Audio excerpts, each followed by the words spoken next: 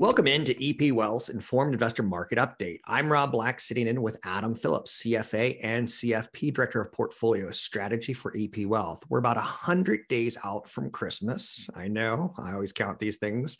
The summer rally has fizzled oh so much, and um, all eyeballs seem to be on do we test lows from June on the stock market? A lot has happened in the previous week. Let's hit some of it. Um, Adam, the markets pulled back in large part. There was a big number on CPI, the Consumer Price Index, on Tuesday this week. What did you see? What do we need to know? Well, I saw what I think just about everyone else saw is that the markets didn't like it. Um, we, we, saw the S&P 500 fall over 4% on the day. So that was the worst, the biggest daily decline since June of 2020 and probably for good reason. You know, I think a lot of people looked at that and said, okay, is this an overreaction? But I, I think if you we just back up a little bit to what we saw towards the end of last week, you know, maybe the market got a little bit ahead of itself in expecting this number to come out and, and be a really um, strong or, or, favorable number. Uh, and they got a dose of reality uh, and then some. And so, what this number actually showed is that yes, inflation did continue uh, its downward trend. It's uh, down to 8.3% year over year, still well above that 2% target. But if you look underneath the hood, as, as we really like to do, and focus on the details, uh, it wasn't that pretty. Uh, you know, one of the things that that I noticed noticed was that um, yes, gasoline prices fell 10%, or actually a little bit more than 10% on a month over month basis. That's great, but all the other data uh, really left a lot to be desired. So um, what I noticed, noticed that was that uh, the core prices, so excluding food and energy, on a year-over-year basis, they're at about uh, up at about 6.3 percent, um, so pretty high. But what's notable is that just that the, the rolling three month average is up 6.5% on an annualized basis, which tells you that we're actually trending higher. The breadth of these gains, even though we're seeing some progress on gasoline and energy, the breadth of, of this, this price growth is really, I think, what's scary and tells us that this is going to linger along uh, a, a, lot longer than, than most of us anticipated. And so what you saw was that reaction as people looked at this number and said, okay, the Fed really can't, um, that, that 50 basis point hike next week is out the window. There's no way they can get away with that. 75 basis points is all but guaranteed. And there were actually some who came out and said that the Fed can justify a 100 basis point move at their meeting next week.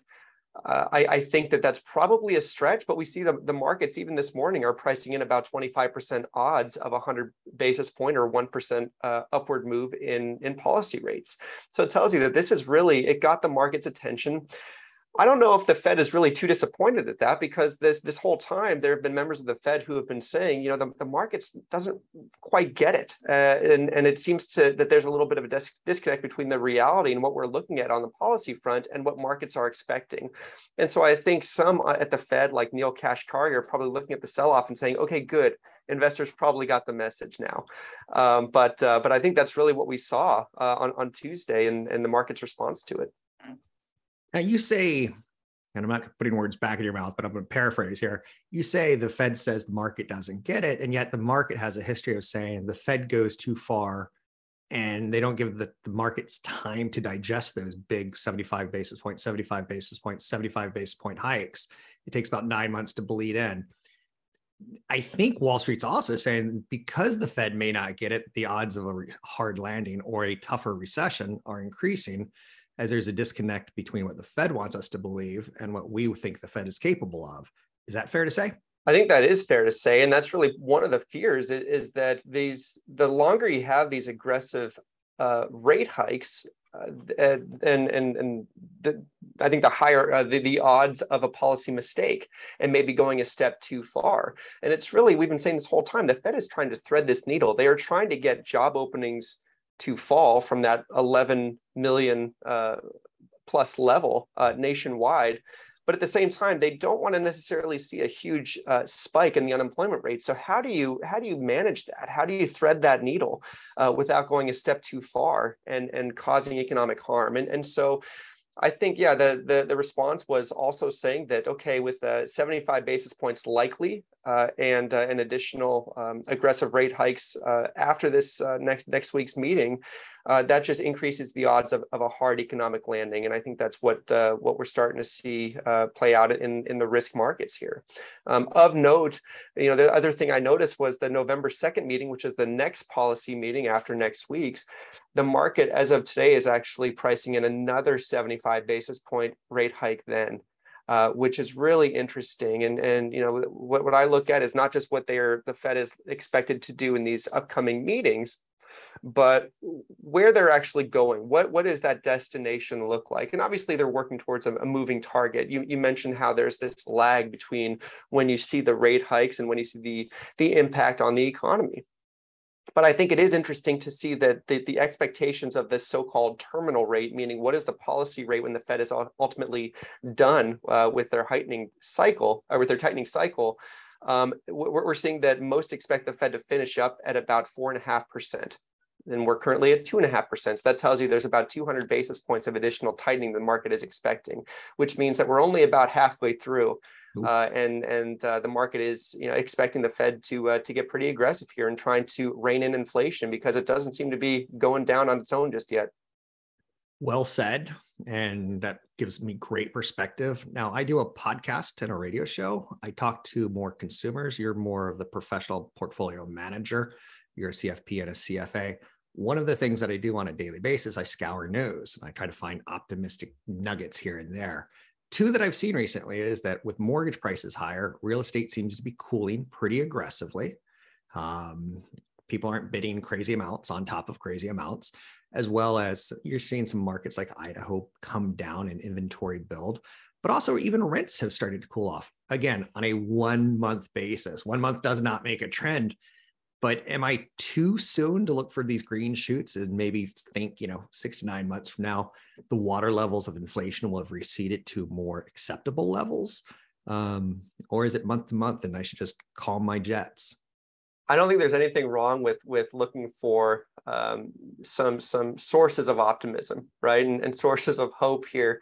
Um, you know, I, I think as you noted, one month does not make a trend, and and so what I look at on on the, the rental side of things is that, yeah, we we know the the the um, the residential side of things uh, is is struggling right now. We know home affordability is extremely challenged right now because not only are property prices still elevated, they grew about forty percent over a two year period.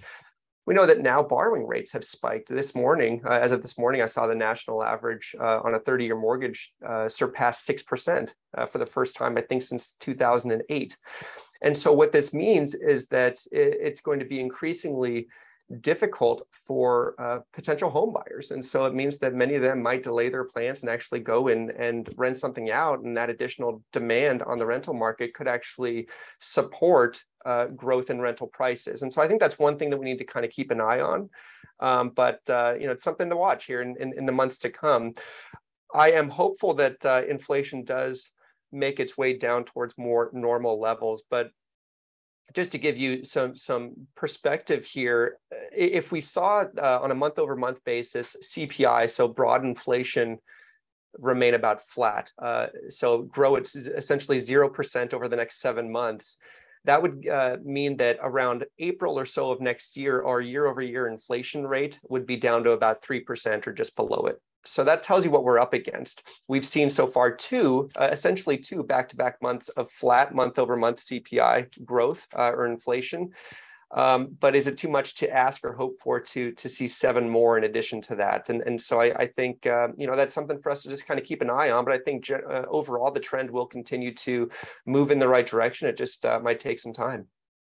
So what's next? Is it we've gone through earnings season? Do we need more earnings adjustments to come down? Do we need people fired or do we need people hired?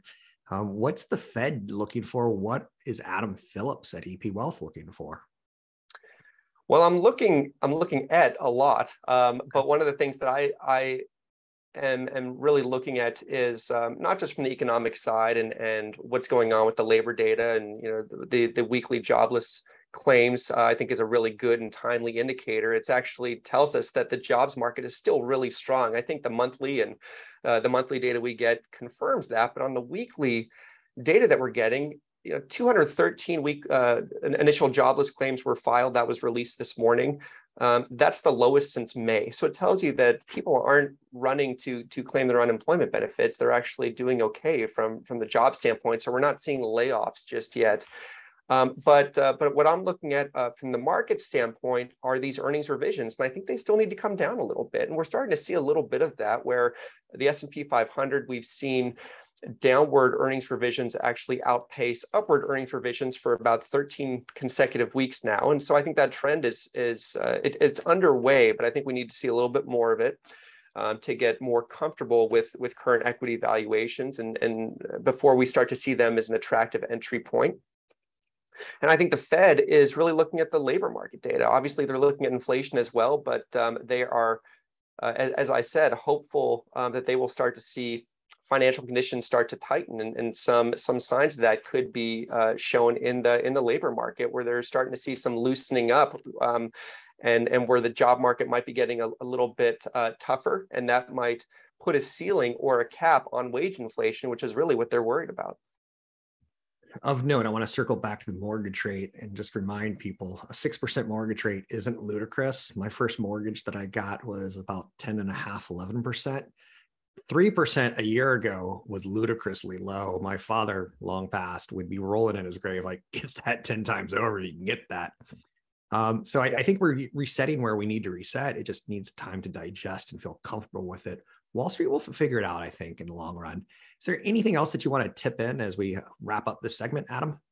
No, I, I, think that's a great point, uh, Rob. So thanks for mentioning that. And no, I, you know, n- next week uh, w- will be a big week. I think that's what everyone's focused on. Um, you know, the the FOMC, uh, so the Federal Open Market Committee, will meet on Tuesday, uh, and their meeting will uh, end oh, on Wednesday. And so on Wednesday, we'll we'll hear uh, whether it's a 25, 50, 75, 100 basis point rate hike it's almost certain to be a 75 basis point. They've they've pretty much uh, tried to telegraph that um, through um, their their speeches over the last few days and and through sources at say the Wall Street Journal. So um, I, I, think they've done a good job at setting expectations there. But I think beyond that, we're always looking at what Jay Powell uh, talks about in in his uh, press conference that follows the conclusion of that uh, policy meeting as well as we'll be getting some updated uh, economic projections from the Feds. This comes out quarterly. And so I think it'll be really interesting to see uh, where their um, what their outlook is and, and where they think inflation is heading over the next um, you know several quarters and, and what that means for policy rates. So I think a lot of this really just uh, gives us a perspective about how the Fed itself is viewing it outside of their policy actions. What is their outlook? So um, I think it'll be really interesting. So plenty of, for us to talk about uh, next time around. Sounds good.